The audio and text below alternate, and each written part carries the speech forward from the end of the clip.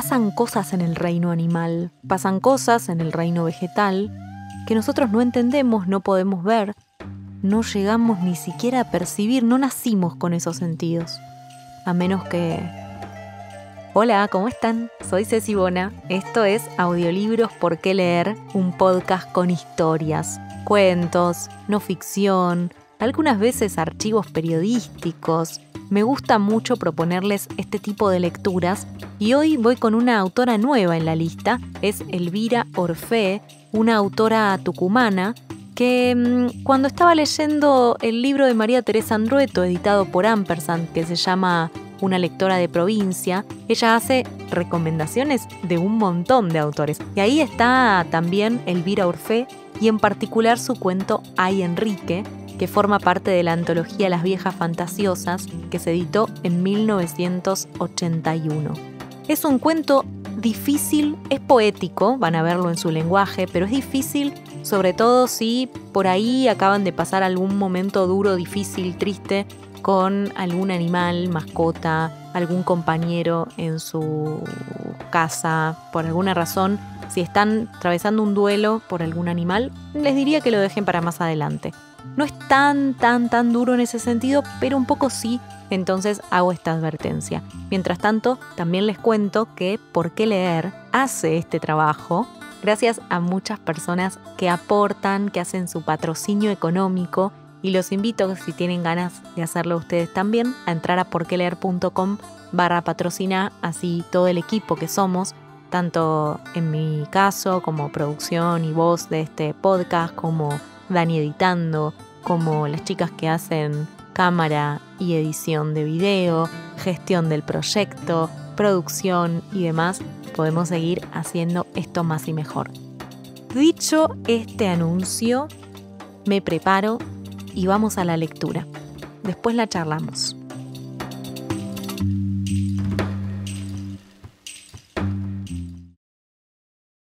Quedaba en un paraje de mosquitos, de maderas podridas, de río.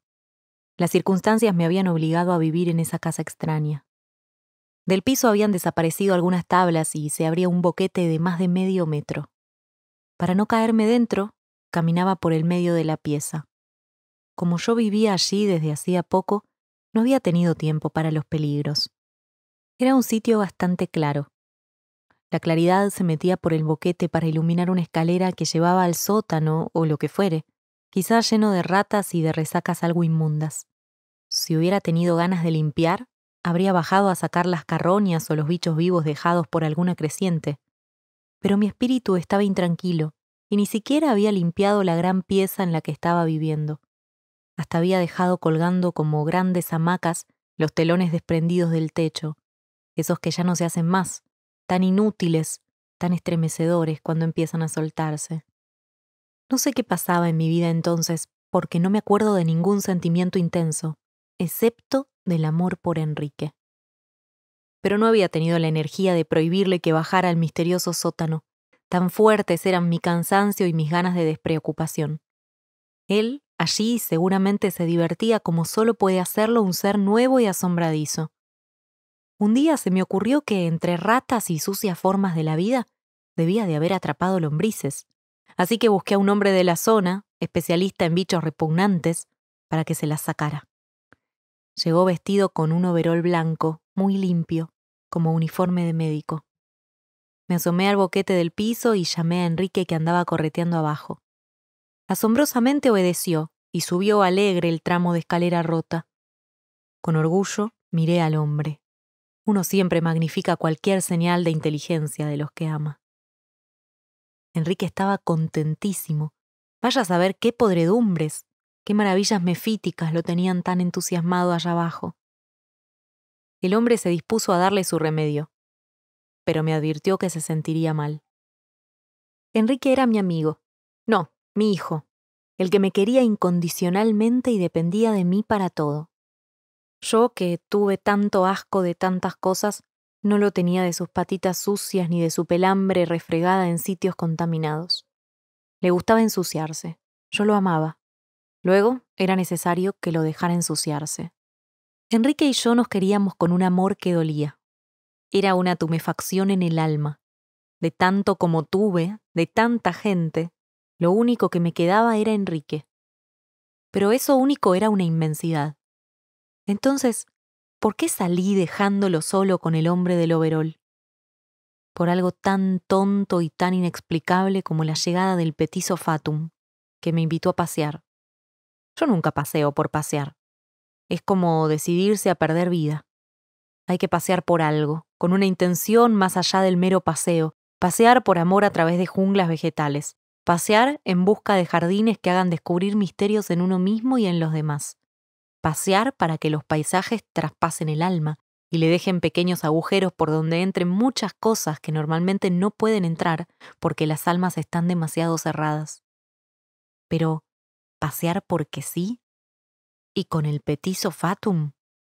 Simpático y divertido en las ocurrencias que nacen de noche, entre mucha gente, pero incapaz de exprimirle las posibilidades a una flor. Pese a eso, increíblemente salí con el petizo fatum mientras a mi criatura le hacían ingerir drogas dañinas.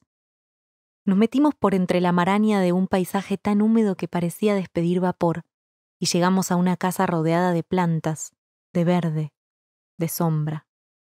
Una gran casa oculta y chorreada de verdín, de esas que tienen imán porque están como saturadas de maleficio.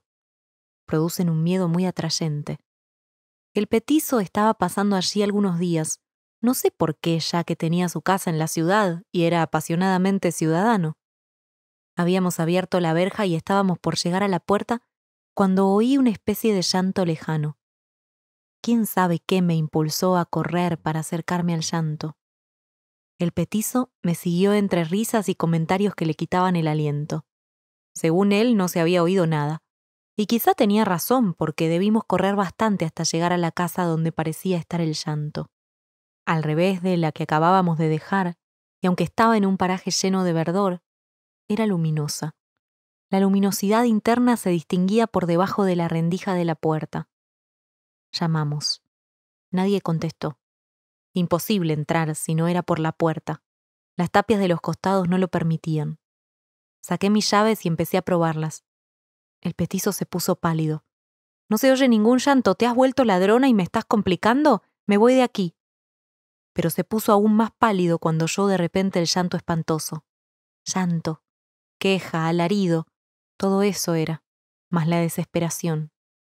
Fui siempre especialista en encontrar entradas insuficientemente cerradas. Desde chica me he divertido en violar casas de vecinos ausentes. Un único obstáculo tuve a veces. Los perros, tan defensores de lo que no les pertenece, tan del partido de sus dueños, pobrecitos. Hasta he llegado a entrar en casas con enfermos que ni se daban cuenta de que la familia los había dejado solos. En casas con imágenes de Santa Teresita y rosarios gruesos, negros y diabólicos. En casas llenas de jazmines del Paraguay, que aunque no tienen un perfume exaltado, lo tienen, sí, extraño, casi un no perfume, muy refinado. Y de repente, mientras hurgaba la cerradura, me invadió el ansia de perfumes que siempre me ha perseguido como si me señalara un camino.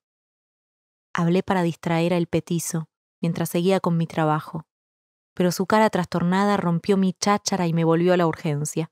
Tenía que entrar en la casa. Lo había hecho antes en tantas otras, atraída por sus extraños habitantes ausentes que dejaban visibles sus ritos o por sus insólitos ensamblajes, ajenos a las ordenanzas, rebeldes a cualquier prohibición opuesta a la originalidad. Por fin di con el resquicio que me permitió abrir. Una casa rectangular y luminosa. Se entraba por un pasillo lindante con los vidrios de la cocina, que a su vez tenía ventanas hacia otra calle y entonces volvimos a oír el quejido. ¿Quejido? Un gemido rabioso, un aullido. Venía de afuera, de detrás de las ventanas de la cocina que daban a la otra calle. Me precipité a abrir una y algo huyó hacia abajo. El petizo ya estaba junto a mí.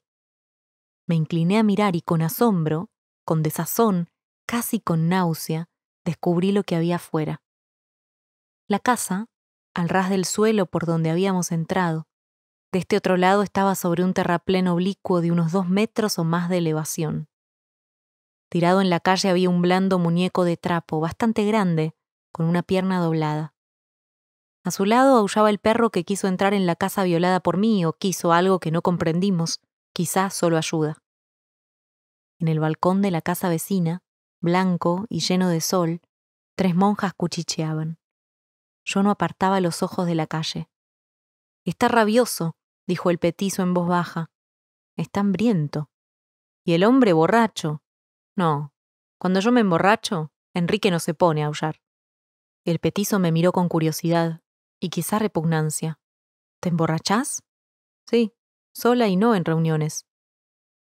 ¿Por qué has decaído tanto? ¿No te da pena? Inútil contestarle. Era curiosidad de chismes, no de vida.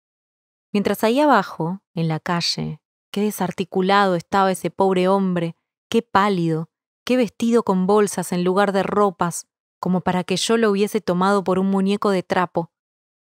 El muchacho tirado y su perro, dos seres que se habían amado, que se amaban seguramente todavía a pesar de la espantosa barrera entre ellos. Porque no se podía dudar. Solo la muerte da actitudes tan antinaturales como la que tenía el hombre caído. Todo era tan blanco de este lado de la casa, como en un paisaje de Andalucía, como si del otro lado no hubiera tanta cantidad de sombra, de verdín, de agua oscura. De repente, ese dolor que se elevaba desde la calle me dio en el pecho y me sofocó. El muchacho tirado, ¿de qué había muerto? ¿De hambre? ¿De caminar sin esperanzas? ¿De tanto amar? ¿Cómo no supo que junto a él tenía el amor? ¿Qué necesidad de un ser humano para vivir el amor más desgarrador? Las personas son nada más que el instrumento para el cuerpo de otras personas, susurré. El petizo estaba descolorido, entendiendo solo la muerte, sin entender la separación. El amor que rompe las paredes está en otra parte. Tenemos casas para resguardar el cuerpo, tenemos cuerpos para resguardar quién sabe qué belleza desconocida, pero la resguarda y al mismo tiempo la comprime, la domina, la retiene, Hablé con voz de llanto. ¿Quién es capaz de romper las paredes del cuerpo? Ya había algunos curiosos mirando al muchacho caído. Todos parecíamos paralizados. Nadie actuaba. Y en el balcón vecino, tres monjas comentaban pacatas el espectáculo. Hagamos algo, les supliqué. Quizás esté vivo todavía. Es la voluntad del Señor, dijeron indiferentes. Pero quizá no esté muerto, sino por morir, y pensé, una enfermedad tan pobre que la obliga a transportarla por los caminos y la intemperie. Ellas siguieron en su impasibilidad de monjas. Es la voluntad del Señor. Entonces, dulcemente, les aconsejé, ¿por qué no cambian de Señor? Se persignaron y huyeron a la desbandada. Yo entré a llamar a una de esas instituciones nuestras que tardan tanto para lo urgente y no llegan nunca para lo demás. Luego salí de la casa, Arrastré a el petizo en la gran vuelta que se precisaba hacer para llegar del lado sombra al lado de Andalucía. ¿Así que te emborrachás sola? Mientras corríamos. Sí, ¿no lo ves? Sin dejar de correr. Estoy borracha de rabia. Otras veces lo estoy de música y tantas de eternidad. Entonces Enrique se echa a mi lado y participa de lo que me pasa. Pero para que te quedes contento, a veces me emborracho con dos vasos de vino con frutas y mi voz sonaba entre los lamentos que se desgarraban en el aire y volvían a nacer en algo más hondo que la garganta del pobre animal desesperado. Sus ojos, fijos en algún zodíaco lejano, pero con lagunas del llanto de la tierra, estaban atados al espectro del muchacho que seguramente se despedía de él en ese momento en una estratosfera del alma inalcanzable para nosotros. El muchacho ya se iba, derivando por las regiones privadas de los muertos. El perro quería irse con él, y su cuerpo imperante le cerraba el paso. La corriente de su desesperación era por minutos más intensa. El muchacho se iba empapando de desconocido, el perro de desdicha irreversible. De repente la mirada del perro cambió de lugar y de expresión. Me miró a mí, y el horror pareció traspasarle los límites de los párpados. Dios, Dios, dije, no abandones al perro, lo recogeré yo y salí corriendo mientras el petizo me gritaba. ¿Quién era él para llamarme? ¿Quién era para haberme hecho dejar a Enrique solo? Era nada más que el hermano de El Alto Fatum. Corrí hasta sentir estrellas de plata ante mis ojos y sus duras puntas clavadas en un costado del cuerpo. Corrí abriéndome paso entre estrellas de dolor ya viejas conocidas, pero nunca tan brutalmente desafiadas. Entré en mi extraña casa. Yo no vi el espectro de Enrique, como vio el perro el del muchacho alejarse traslúcido o centelleante hacia los parajes de la disolución.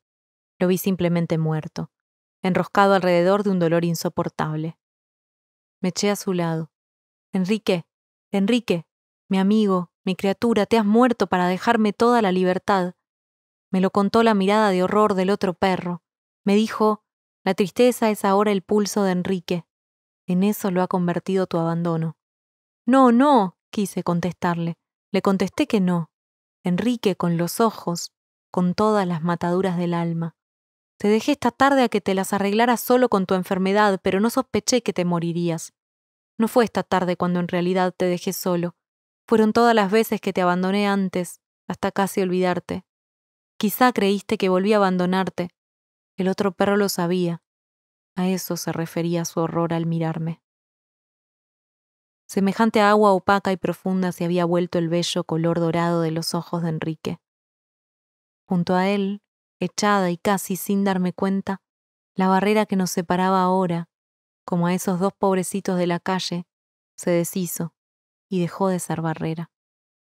Tuve una náusea, una sola, y no caí muerta porque ya había caído antes de morir. Ya en el suelo estaba muerta. Enseguida vi luces titilantes en horizontes muy oscuros.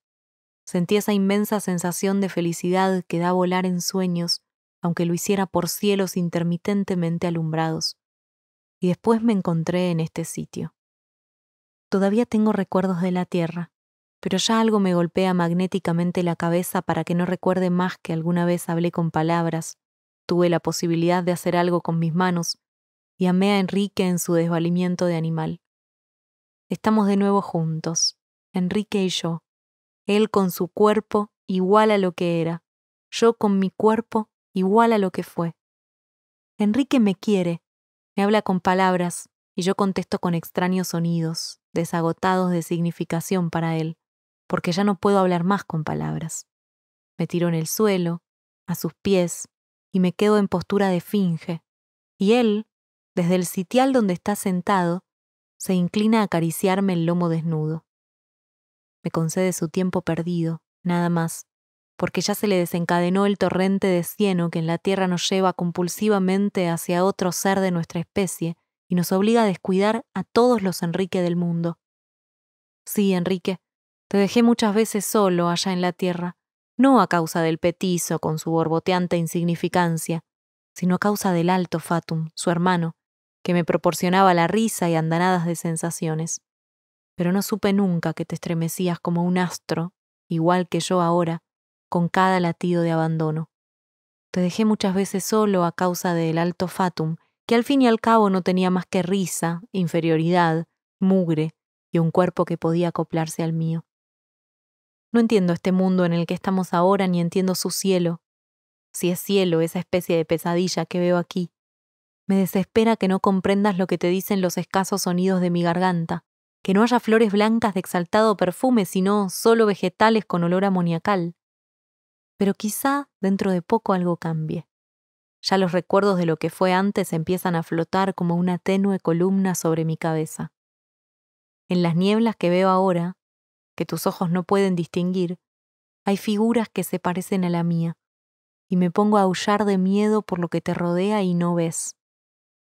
Enrique, que te enamoraste de un cuerpo semejante al tuyo en este enervante, extraño mundo, y que me abandonas a causa de él, antes de que pierda del todo la memoria de lo que fue, te suplico que no me dejes como te dejaba yo, con tanta soledad, con tanta hambre, durante tantos días, que no me dejes por un cuerpo de tu misma especie, esos que nunca traen el amor, sino la desgracia.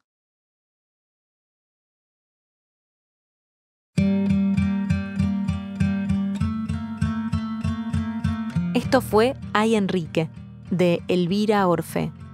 Varios misterios que se van develando, ¿no? A lo largo del texto. Primero tenemos este enrarecimiento del comienzo decimos, ah, ¿de quién está hablando? ¿Quién es Enrique?